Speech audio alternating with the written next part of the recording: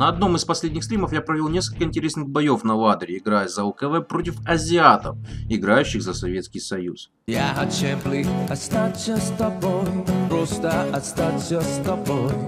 Все не придерживались одной стратегии в дебюте, это опенинг бронетранспортер М3. И такие бои показались мне довольно яркими, которые демонстрировали всю эффективность и последствия выбора такого билда игроков, играющих за Советский Союз, а именно через бронетранспортер М3.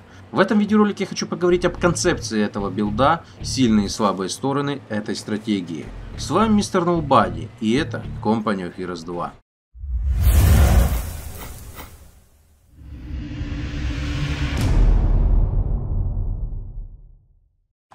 Играю на левую сторону. Пойду на вражеское топливо. Вернемся. Э, два сапера у него. И штрафники. Это будет, соответственно, М3. Это будет М3. Поэтому сразу приготовим Пупхин. Основная суть дебюта через М3 это использование определенного промежутка времени для своих агрессивных атак. Тот участок временного отрезка, когда у фракции УКВ нечем эффективно контрить этот советский бронетранспортер. В отличие от вермахта, у стрелковых отрядов фракции УКВ отсутствуют фаус-патроны до тех пор, пока игрок не возведет свой первый штаб, не выйдет в технологии. И игроку за УКВ приходится выкручиваться лишь одними фольксгренадерами до того момента, пока не будет установлен штаб для открытия фаус-патрона. Это именно та слабость, которой пользуется фракция Советского Союза, играя против ОКВ. Знакомая страта. Наверное, этот раз я сразу подготовлю Пупкин. Хотя, ну, карта обширная. Пупкином особенно, особо не угонишься за М3. Давайте, наверное, тогда тот же маневр с 2-2-1. Да, уже поехал. Уже поехал. А загрузился ли кем-нибудь? Штрафники. Мне сейчас связующую будет резать. Так, идем. Выбивать. Огнемет.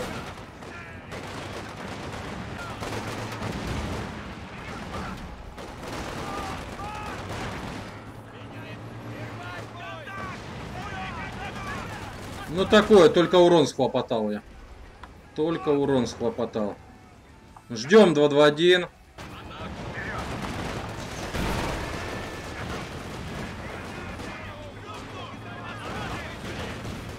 За исключением фауст-патрона есть и другие способы для контрмеры М3, но обычно игроки побыстрее выходят в медицинский штаб и предпочитают контрить М3 именно за счет фауст-патрона. Во-первых, чтобы не выводить раньше времени пушку, всего лишь ради такого слабо бронированного юнита, как М3. А во-вторых, открыть для себя следующие технологии и медицину побыстрее. Из альтернативы можно выдать саперам Panzerschreck. Также одна удачно расположенная мина может решить вопрос с М3. У, сука, накатался я, блядь! Накатаешься нахуй! За счет доктрин можно вывести на поле боя панзерфузилеров. Они имеют на вооружении противотанковую гранату, не требующую для использования наличия продакшена. В доктрине элитной бронетехники есть бронемобиль СДКФЗ-221. Тоже подойдет для эффективного уничтожения М3. Также собравшись своей пехотой в кулак, можно уничтожить М3 одним стрелковым огнем. Но это самый рискованный вариант. Имба поехала, ловите ее, блядь. Все, Игорек. Вот смотри, ну три отряда, это пыль для меня. Что такое три отряда для М3, бля? Это ж ни о чем. Это ж ни о чем, Игорек. Смотри, как они все горят хорошо.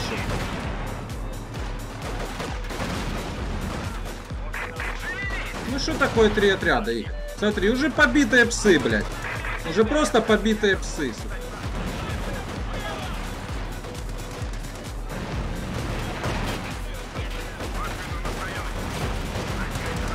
Забьет, блядь. Забьет. Просто остаться с тобой. До высокая звезда.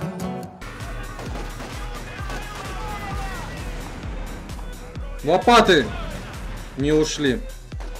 Не ушли. Ну такой невыгодный размен.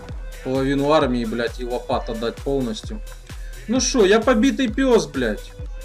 Часто встречаемый билд для дебюта через М3 это выход в Т1, отряд штрафников, которые выходят на поле боя для захвата ближайших точек, пока ждут выезда бронетранспортера. Далее М3, штрафники грузятся в М3 и выезжают на охоту. Получив первый урон, М3 штрафниками возвращается к саперам или же, оставив на поле боя штрафников, М3 сам возвращается к саперам, которые ремонтируют этот М3, вооружаются огнеметами и загрузившись в него, дальше выдвигаются в бой. С этого момента у саперов есть примерно минута или полторы, чтобы полностью выжать КПД из этого М3 за счет своего огнемета. Пока ОКВ не вышел в технологии, которые дадут ему фауст-патрон.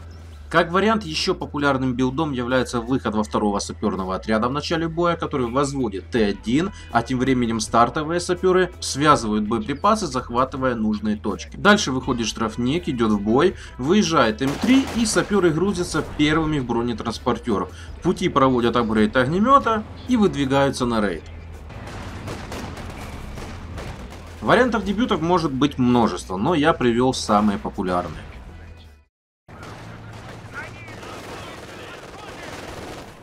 Дергай их, дергай.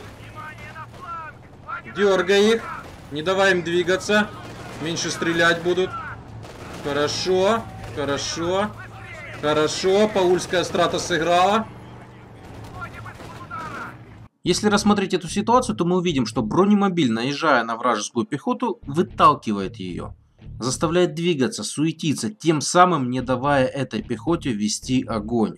А тем временем рядом стоящий отряд фольксгнадеров ведет стрельбу по парализованной движением вражеской пехоте. Этот маневр реализуется и с М3, только пехота находится внутри бронетранспортера. Пехота, которая наносит урон и техника, которая ограничивает стрельбу отрядом противника постоянным наездом на его пехоту. Это отлично было сделано в ранее показанном моменте, когда М3 вырывается на местоположение пехотных юнитов и распихивает их, при этом атакуя. И пехота, находясь в состоянии движения, вести прицельный огонь не может. Если вы научитесь этому методу использования М3, вы максимально увеличите эффективность этого юнита на поле боя. Материал для вас подготовил мистер Нолбади. Если вам понравился ролик, жду от вас лайк, если нет дизлайк. Спасибо всем топ-донатерам этой осени за их финансовую поддержку. СКВ Рус, Джимат Игра Безумие, Энгаз, Ваше Имя, Сарман 1999, Кекс 17, Македонский, Реверн X, Гринекс, Дед Вандер, Денч, Демин Игорь, Юг 2.0, Лукизи, Деник, Простобот, Макс Сотников, Костоправ, Костяджо, Clear Energy. Спасибо вам за вашу поддержку. Подписывайтесь на канал, прожимайте колокольчик. До новых встреч!